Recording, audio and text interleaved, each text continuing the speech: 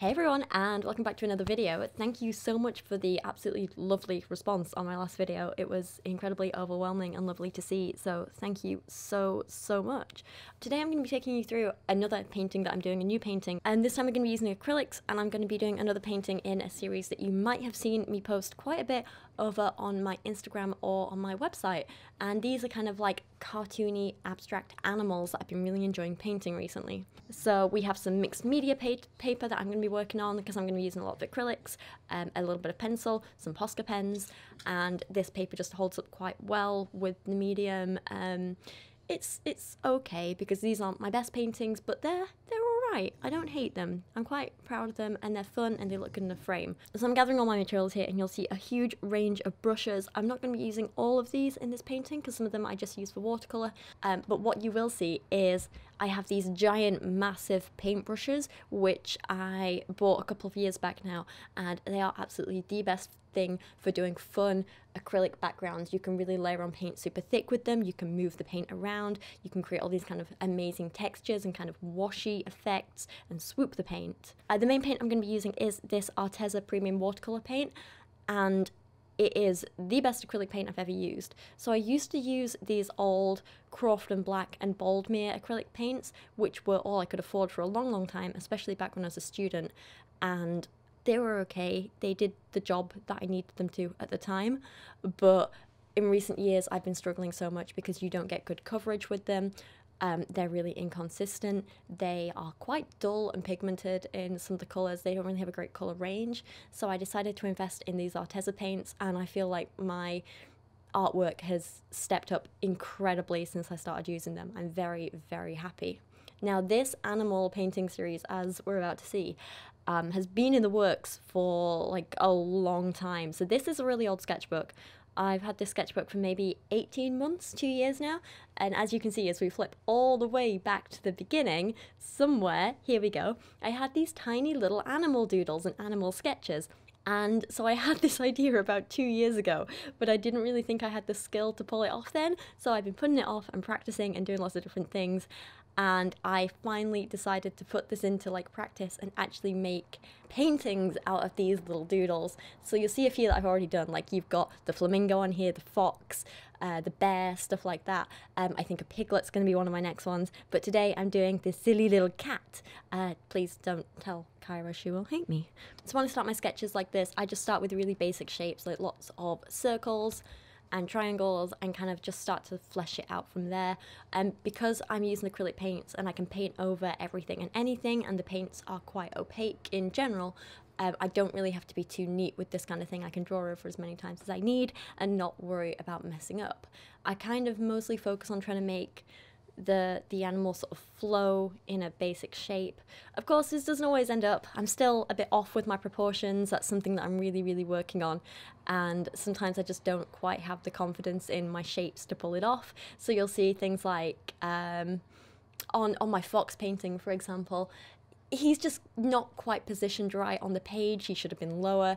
You'll notice on my bear painting, he has really weird deformed back legs. Bless him or just one single back leg. It's, he looks very silly, but I love him. And you know, it's all part of the learning process and growing. So I'm getting there. And as long as I can be really, really like critical of myself, but still enjoy what I'm doing, I think that bodes well for the future. I hope. We'll see. I don't know how many more animals I'm gonna like, I don't know, maim in the process, but we should be okay. Um, so here I just started adding paint to the background and what is kind of interesting is with these animal paintings I tend to do the backgrounds first in terms of like putting down a sort of wash of colour. Um, in this case I went for like way more choppy colours than I normally do. Normally I kind of like I'm a little more soft with the background and I try and blend colours together a little bit more before I add details on top. But with this, I was like, what would Kyra think of cats? And I realised that she doesn't like them very much because there was once a cat who tried to like swipe at her face and like scratch her eyes and she was really scared of him and had to hide behind my legs.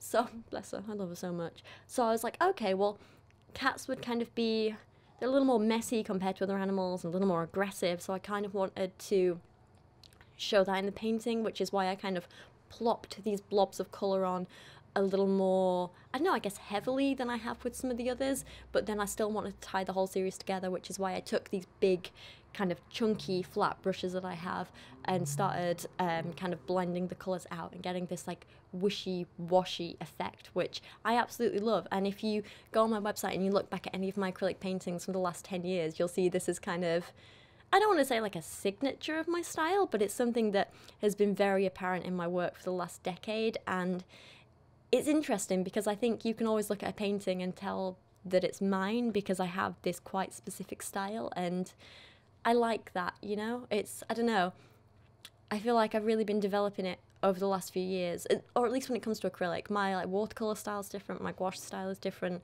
and so on. But this acrylic style is something that is very kind of me and very recognizable, I think, which is nice. I, I like it. So at this one I started painting his face and you'll notice I tried to go really heavy on the texture with this. So I was applying the paint really, really thick.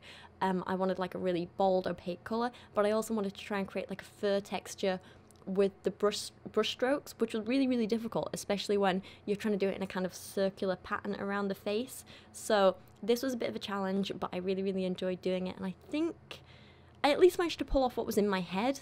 Again, I, I still think it could be better. It could always be better. But for a kind of first attempt at a cat. I don't hate him. I think he's quite cute. I like him. And I achieved what I set out to, which is what's important, I think.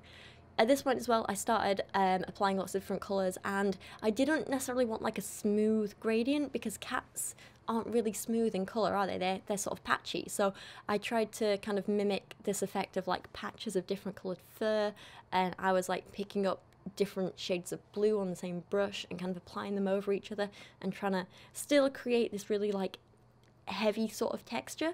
So if you see the painting now, and once we get to the end of the video, you'll see this, but there's lots of impasto, impasto, impasto, oh, I, I don't know how you say the word, but basically lots of texture on the painting. You can see the individual brush strokes and it's I think really cool. It's one of the things I love seeing in other people's paintings and one of the things I love doing in my own. You'll also notice I kind of made use of it at one point where I let the face completely dry and then I took some white paint on a completely dry brush and I sort of did a dry brushing technique over it. And this is something that I picked up from painting miniatures and it's where, like I say, tiny amount of paint on a dry brush and you brush it over um, an already dry surface and basically the paint is only picked up by the raised areas and it creates like a really really interesting texture where you kind of it, it kind of highlights certain parts or I guess shades if you're using a darker color. And um, that's sort of what I did on the face. And I'll, I'll point it out when we get to it but I just figured it would be interesting to talk about now. But um, I feel it really helped highlight certain bits of kind of the furry texture on the face. And it was something really unusual. And it's not something I've ever tried in a regular acrylic painting before so it was it was really really fun to do. Other than that, I kind of struggled down here a bit creating this sort of texture because I didn't want him to just look blobby. I wanted him to look furry, but it was a little bit difficult, but I kind of persevered and I ended up using a couple of different brushes to try and achieve this. Brushes in different sizes and different shapes, and in places I used like a really flat, thin brush to try and create a different texture. And ultimately, I think it all came together, like I say, in the way I wanted in my head, but it just took a little bit of working on, you know? At this point, I started working on the kind of crazy abstract backgrounds, which honestly is my favourite bit of these paintings. They're so much fun to do. I've always, and again, if you look back at my paintings from the last 10 years, you'll see this on my website. I've always loved kind of throwing paint around and um, kind of abstract things where I get to drip paint or splatter it, or I often like kind of pull paint on paper and blow it around, or use straws or a heat gun or something like that to move it and stuff. And um, that's what I got to do here, and I had a lot of fun with it. So, annoyingly, I couldn't quite film this in the way that I wanted to, and the camera struggled in and out of focus a little bit. Filming these videos is something that is new and difficult and I'm working on and I'm going to try and get better at and like play around with some different angles and stuff and make sure you can really see what's going on. So this is something I'm aware of and trying to improve.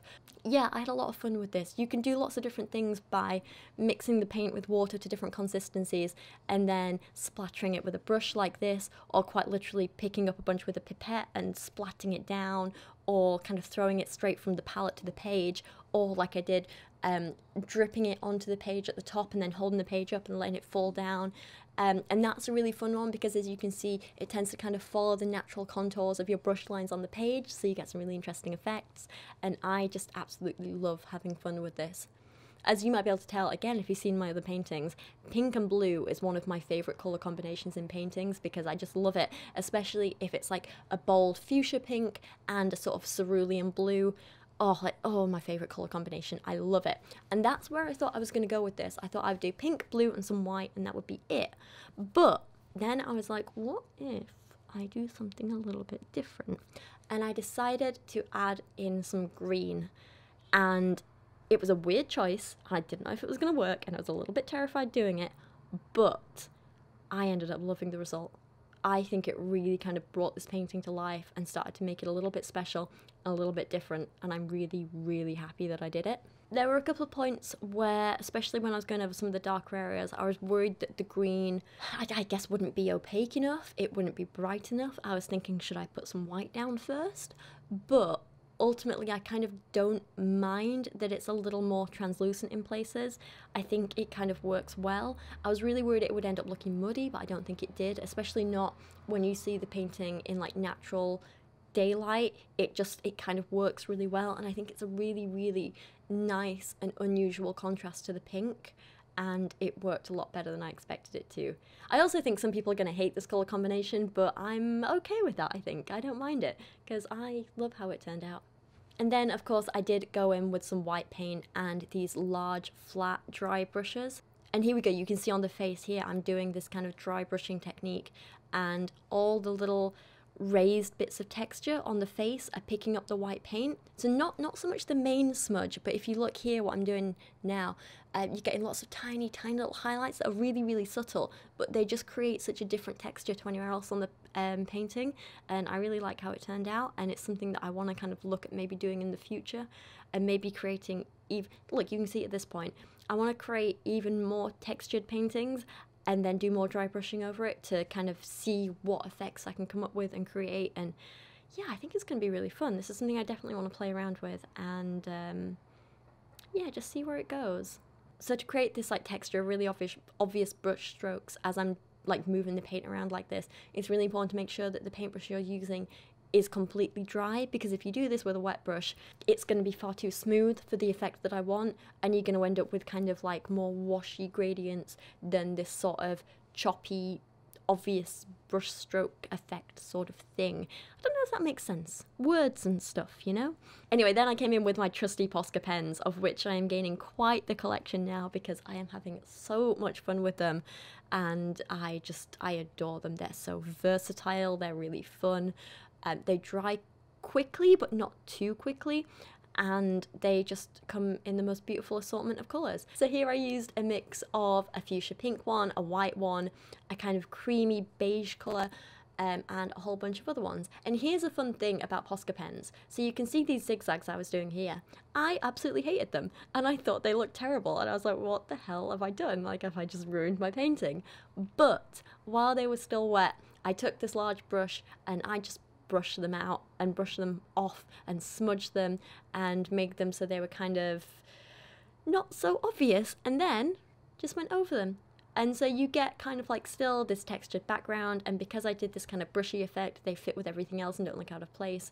Um, they don't stand out anymore and I managed to just do other interesting things over the top and ultimately I think this little area turned out looking quite well instead of the mess that it was.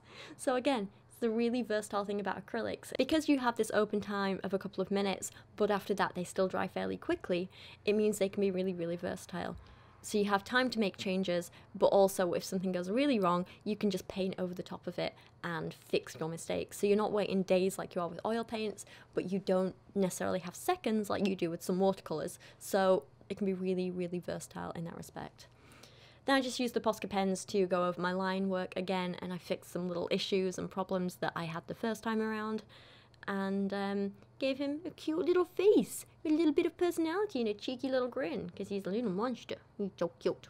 And at this point I decided to come in with some of the kind of like shapes and doodles which are kind of almost like a signature thing on these paintings at this point. So you have some circles, you have some swirls, you have some little flowers, some little leafy boys, you have these dotted lines. Just, you know, they're, they're kind of something I've been doing in my paintings for years and I've made them this sort of feature in these animal acrylics.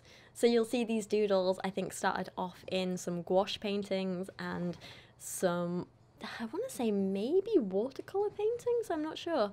Uh, but you'll see in my sketchbook there's spreads that feature all of these shapes um, that I've been kind of slowly bringing into my artwork over the last couple of years. I think one of the big turning points in kind of this art style for me was, um, God, how many years ago now?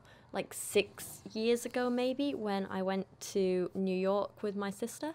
Again, if you've been on my website, you'll probably see tons of my photos from New York, but one of the places that really, really inspired me was Coney Island. And I took these amazing photos there at sunset, and just the whole place was just felt very magical and not like anywhere I'd been before. And I loved all the bright colours and the rides whooshing past you, and just the energy that was there. And when I came back, I created this series of now I think they're really terrible paintings of Coney Island and the rides, and I was trying to like capture that energy in a sort of abstract style. And I think over the years that style developed, and I managed to kind of turn that energy into something a little bit more aesthetically pleasing like these ones. But again, I think it's really nice to see the progression of my art style and kind of where it's all culminated to at this point and it also makes me excited because I'm like, where is it going to go in the future? I'm trying to improve all the time, and every time I finish a piece of artwork like this, I go back and analyze it and try and figure out where I've gone wrong, where I could do better, what I would change about it in the future. And that's what I've always done with my art, and that's why I think I've seen such an improvement over the last, like, literally 10 years. So, yeah, I'm really, really excited. Um, to see where I go from here. And that's kind of what this channel's about for me. It's about doing something for fun, doing something that I'm passionate about, but also learning a lot in the process and trying to improve. Yeah, hopefully it'll be fun for you to be on this journey with me. But I think that is about me done for today. So thank you so, so much for watching. We're just going to end this with a little video of Kyra judging my painting and seeing what she thinks. So you'll have to excuse her today. She's got a little bit of a poorly eye. It's her ingrown eyelashes that are irritating her again. She's had her eye drops. She's going to be okay, but she's just a little bit grumpy for now. Um, but as always, her opinion is the most important one to me in the entire world. So let's all appreciate it. but for now, thank you for watching today. I appreciate you guys a lot. Um, if you're new here, it would be amazing if you want to subscribe. And if you don't know who I am, also go check out my main channel, please, where I post book reviews and social commentary and um, kind of educationally type stuff to make you do the thinking and things. I sound very dumb, don't I? Anyway, thank you for watching today, and I'll see you again soon.